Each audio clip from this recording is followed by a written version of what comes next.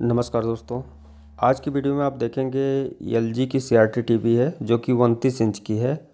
और सबसे ज़्यादा प्रॉब्लम आता है, जैसे हमारा उनतीस इंची टी वी हुई या अल्ट्रा स्लिम या स्लिम टी वी तो इसमें अगर कोई चेचिस या हमारा टी वी किट ख़राब है या उसके पार्ट्स अवेलेबल नहीं है या किसी वजह से वाटर डैमेज है तो आपको वहाँ पे जो है एक टी वी किट जो है मार्केट से लेकर इंस्टॉल करना पड़ता है। तो उसके बारे में बताएँगे कि मार्केट में दो टाइप के टीवी किट अवेलेबल हैं, जिसमें से एक नॉर्मल है, जिसको, जिसके बारे में आप सब जानते होंगे, और एक है अल्ट्रा स्लिम का।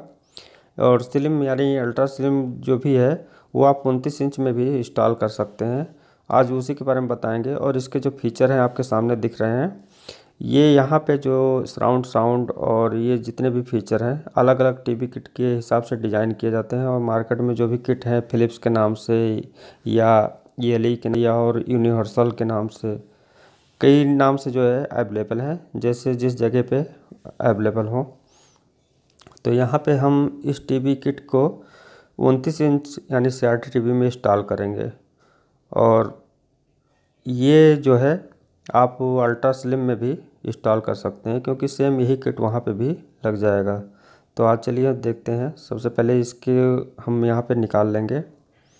और निकालने के बाद इसमें आप देखिए कैसे कैसे क्या करना है। और उसके हिसाब से आप जो है किसी भी उनतीस इंची टीवी या अल्ट्रा स्लिम या स्लिम में आप यूज़ कर सकते हैं। तो यहाँ देख लीजिए, ये हुआ इसका कीबोर्ड और ये है एस टी अब हम सबसे पहले यहाँ से स्टार्ट करते हैं। ये है सी आर टी बेस तो सी आर टी बेस को हम यहाँ पे पिक्चर ट्यूब के इस नेक पे इसे फिट कर देंगे। और वो कैसे फिट करना है, यहाँ पे देख लीजिए एक गैप है, जिसे फोकस पिन कहते हैं, उसको सेंटर में करके और हम अंदर की तरफ़ इसे पुश करेंगे। तो देखिए यहाँ पे कैसे लगाया जाएगा। जो जानते हैं उनके लिए कोई बात नहीं, और जो इस फ़ील्ड में नए हैं तो वो वहाँ पे अगर कोई इंस्टॉल करते हैं तो उसे थोड़ा इस तरीके से आप इसे लगाएँ। इसे इस तरीके से एक साइड में पुश करके और इसे फिट कर देना है। और यहाँ पे अब दो काम हो गए। अब इसके बाद बचा योग कॉयल का वायर अब योग कॉल का वायर जो है आपको देखना है कि उसमें हॉरिजेंटल और वर्टिकल दोनों होते हैं। तो ये है योग कॉयल का वायर। अब इसे हम इसी एसटी के बगल में जो पिन है, यहाँ पे यहाँ पे दिखाइए। अंदर की तरफ़। ऐसे यहाँ पे फिट कर देंगे, क्योंकि सॉकेट को आप उल्टा बैठाएँगे तो नहीं बैठेगा। अब इसके बगल में एक हॉरिजेंटल का एक बार जो सिंगल लगेगा, एक पिन बचा हुआ है, उस सॉकेट पे इसे यहाँ पे यहाँ पे, इसके बगल में यहाँ पे लगाना है, जो कि सिंगल है वो रेड कलर का वायर होगा, ये। इसे जो है, इस जगह पे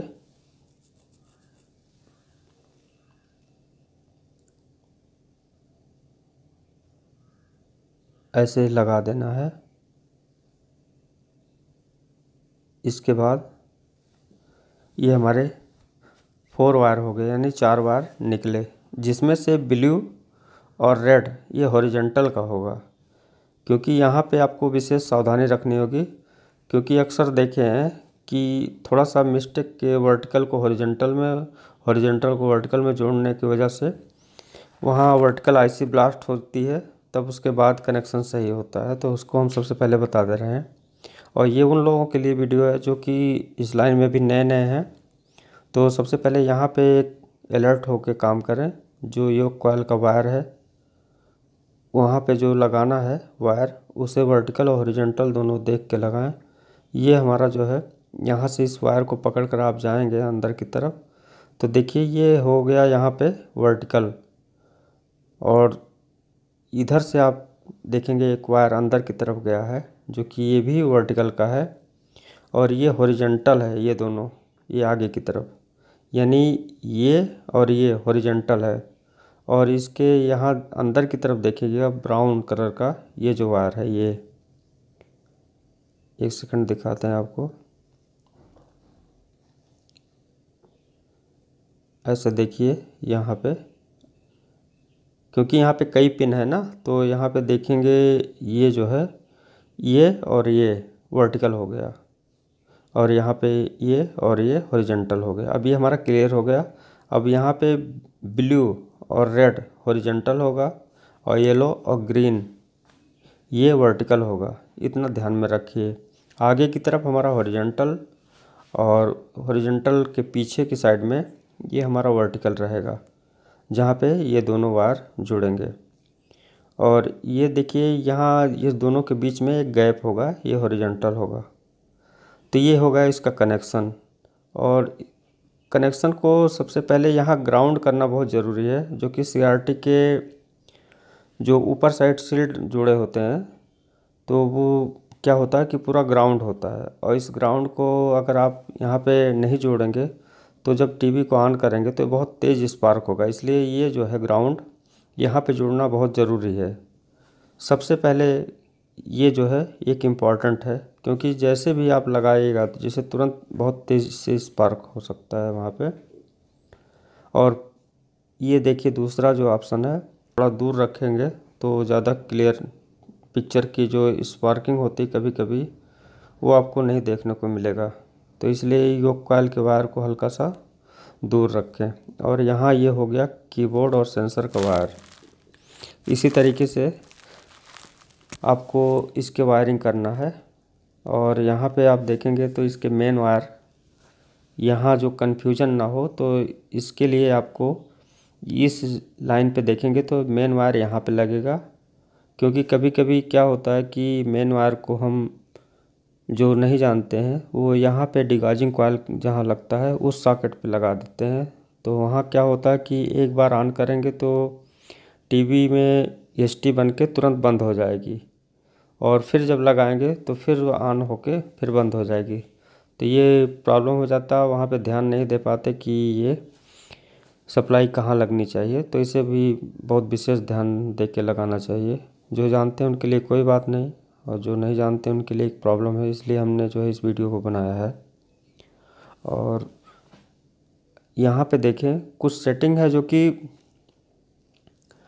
आपको सिर्फ़ रिमोट से करना होगा, यानी वर्टिकल या हॉरिजेंटल में जब प्रॉब्लम हो, ज़्यादातर तो वर्टिकल में प्रॉब्लम होगी, उसे घटाना बढ़ाना पड़ सकता है, उसे आगे हम बताते हैं आपको। सबसे पहले यहाँ देख लें, ये जो ट्रांजिस्टर लगा हुआ है, यस आउटपुट, ये देखिए जे अड़सठ दस, यानी J sixty eight ten A यानी इसमें डी भी आता है अड़सठ दस में, लेकिन यहाँ पे ए यूज़ किया गया है और ये वर्टिकल आईसी है।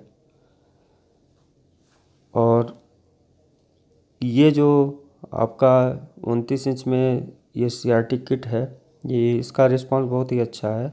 इसमें एक प्रॉब्लम आ रही है और ये प्रॉब्लम आती ही है, क्योंकि इसके जो हिटसिंग है वो बहुत तेज़ी से हीट भी होते हैं, लेकिन अभी भी उसका भी ऑप्शन हम बताते हैं कि उसके लिए क्या करना है। यहाँ पे इसकी जो सप्लाई है एस टी आर सप्लाई है, और ये नॉर्मल टीवी किट यानी जो यूनिवर्सल किट है सी आर टी की, उससे थोड़ा बड़ा हुआ है, क्योंकि इसके एम्पियर अधिक होते हैं, जो स्लिम टीवी या उनतीस इंच में लगते हैं, थोड़ा सा उससे डिफरेंस होता है।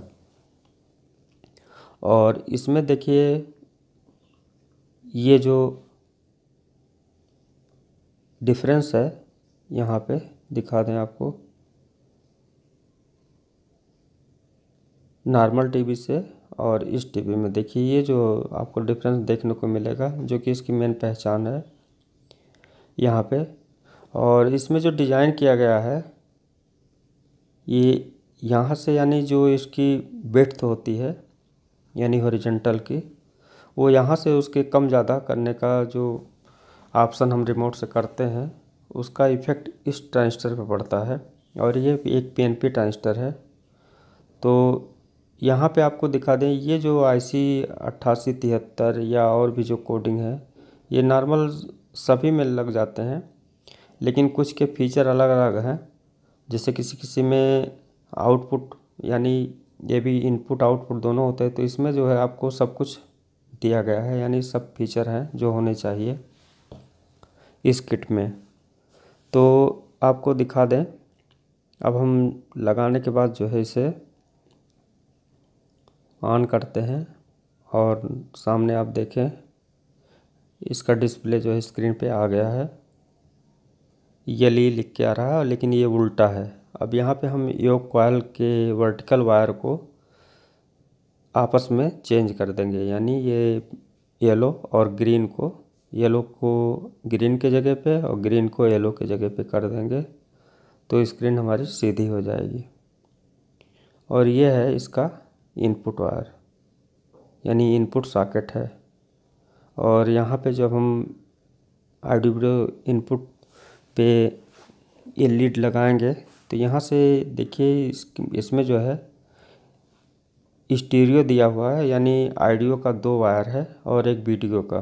तो वीडियो का अलग हो जा, हो गया। अब इसके बाद बचा हमारा दो वायर, जो कि लेफ़्ट और राइट, यानी ऑडियो के लिए है, आवाज़ के लिए। तो उसे हम जो है अलग अलग जोड़ेंगे। और आप यहाँ अगर सील्ड वायर यूज़ करते हैं तो पिक्चर में स्पार्किंग मिलने का कम चांस रहता है, क्योंकि ये बगल से जाएगा। यानी सप्लाई के बगल से बाहर तो वहाँ पे स्पार्किंग कभी कभी देखने को मिलता है। तो यहाँ पे सील्ड वायर अगर इस्तेमाल करते हैं तो वहाँ पे आपको कोई स्पार्किंग नहीं मिलेगी। पिक्चर बिल्कुल क्लियर दिखेगा।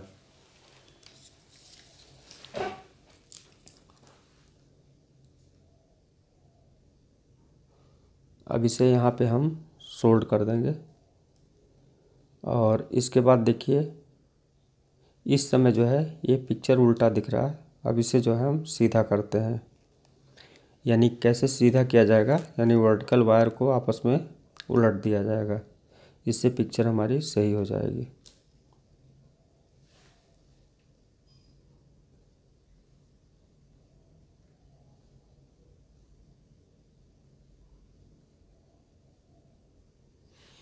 और ये है इसका स्पीकर वायर स्पीकर के लिए, यानी डबल स्पीकर। हमारा स्टीरियो है तो अलग अलग लेफ़्ट के लिए अलग, राइट के लिए अलग। लेकिन यहाँ पे हम आपको ये सिंगल जोड़ के दिखाते हैं।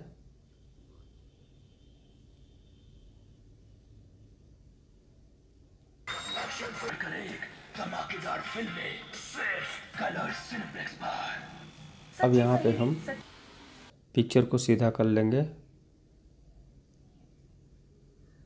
इस वायर को आपस में चेंज कर देंगे। यानी ये वर्टिकल का वायर है।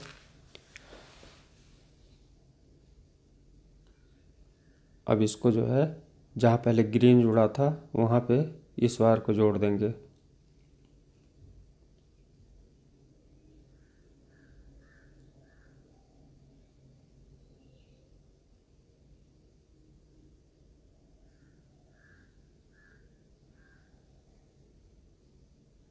अभी देख लीजिए, ये जो है आपस में चेंज कर दिए। अब देखिए टीवी को ऑन करते हैं और उसके बाद देखिए, ये जो है पिक्चर हमारा सीधा हो गया।